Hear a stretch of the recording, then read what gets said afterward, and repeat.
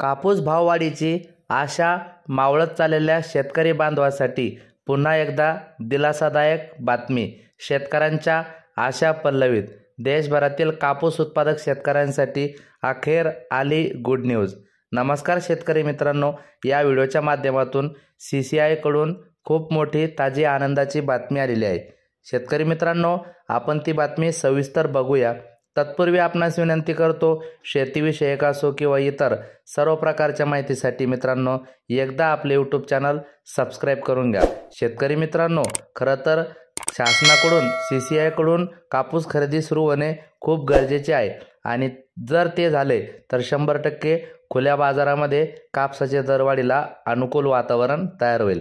आणि आनंदाची बातमी अशी मित्रांनो की पाचोरा येथे कापूस खरेदी केंद्र सुरू उत्पादक शेतकऱ्यांचा सन्मान सी सी आयकडून कापसाला सात हजारावर भाव. मित्रांनो व्हिडिओ पूर्ण बघा कारण पुढे खूप महत्त्वाची माहिती सांगणार आहे.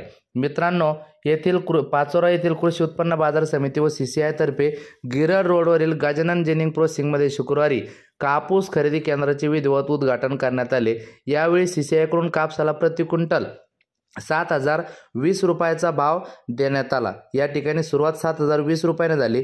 तरी पण पुढे बघा तुम्ही शेतकरी मित्रांनो की कृषी उत्पन्न बाजार समिती सभापती गणेश पाटील व गजानन जेनिंगचे संचालक प्रमोद सोनार यांच्या हस्ते कापसाची गाडी व काटापूजन करून कापूस हमी भावाने कापूस खरेदीस प्रारंभ करण्यात आला.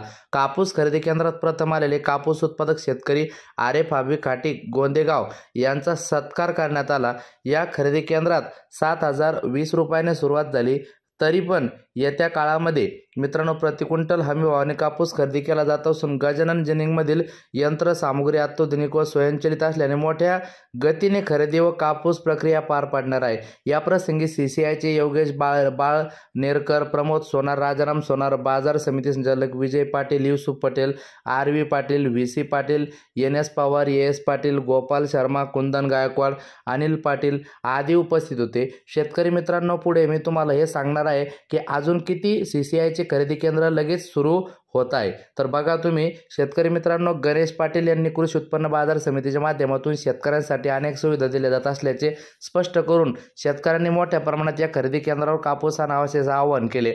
गेल्या अनेक दिवसापासून कापूस खरेदी केंद्राची मागणी व प्रतीक्षा होती.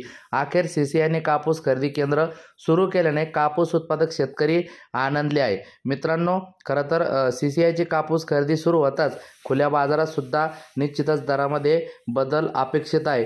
शेतकरी मित्रांना एक प्रकारे या केंद्राच्या वतीने आव्हान करण्यात आलेले की या ठिकाणी कापूस जास्तीत जास्त खरेदीसाठी घेऊन यावा. मित्रांनो महत्त्वाची माहिती ही आहे की जिल्ह्यात तर केंद्रेही सुरू होणार. सी सी आयने जळगाव जिल्ह्यात इतर ठिकाणी कापूस खरेदीसाठी हालचाली सुरू केल्या आहेत. जिल्ह्यात अकरा केंद्रे प्रस्तावित असून त्यापैकी सेंदुर्णी व पाचोरा येथे केंद्र सुरू झाले.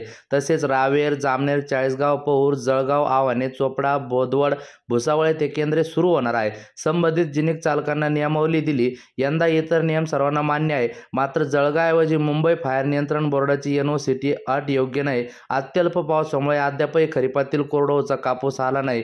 जो आला आहे तो बागायती क्षेत्रातील आहे. त्यात मॉइश्चर ओला आहे. व्यापारी कापसाला सात हजार वीस रुपयाचा प्रति क्विंटल दर देत आहे. शेतकरी मित्रांनो अजून अकरा केंद्रे प्रस्तावित आहे आणि या ठिकाणी सुद्धा कापूस खरेदीला सुरू होतील निश्चितच खुल्या बाजारातील दराला अनुकूल वातावरण तयार आहे धन्यवाद.